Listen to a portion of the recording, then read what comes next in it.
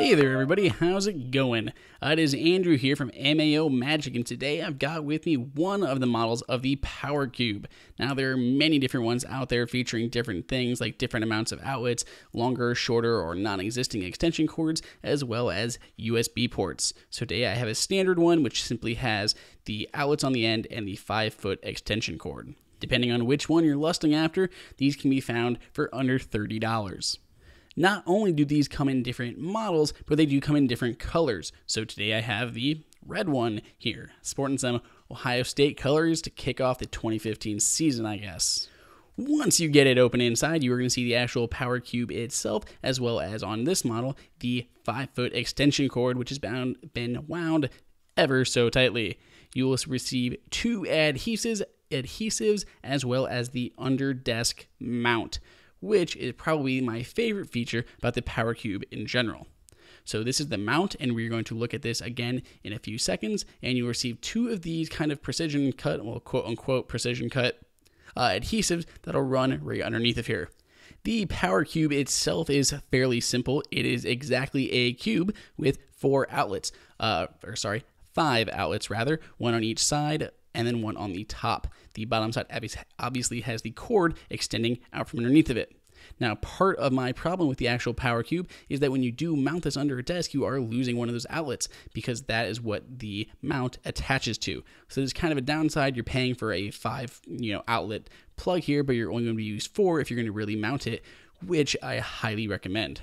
Once we unwind the cord, you will see we have this little collar here, which allows you to mount the cord under the desk or on the wall to make sure it gives it a little bit more support as well as keeps out of the way. If you mounted this on the front of your desk and just had a cord laying down, it would be just unendingly annoying.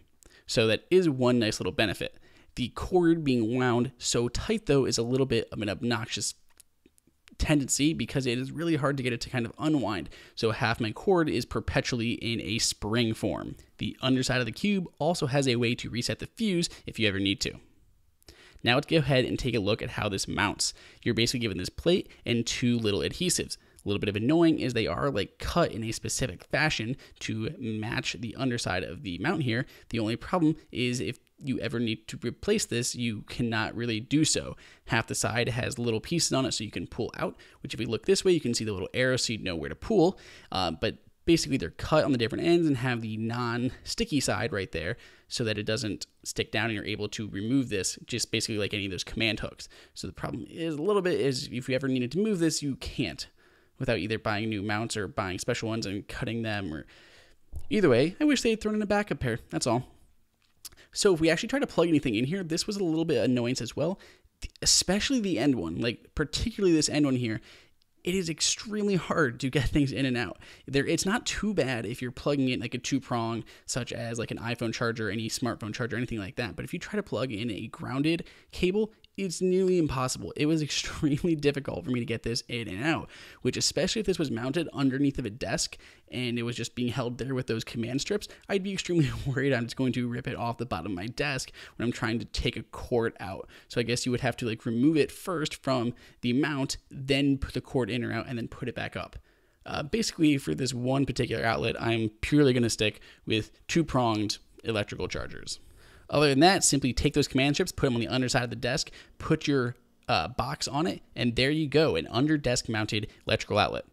If we break down the pros and cons, it's not too expensive for under 30 bucks. Different colors to match everybody's taste, and it has a really good design. It's won the Red Dot Award, and I think it looks really smart. It's a very great little added convenience to the underside of your desk. On the other end of the spectrum, with the cons, it can be really tough to plug certain things in. It doesn't contain screws for adding that mounting bracket or the actual cord bracket. It has screw holes, but no actual screws, which could have been thrown in.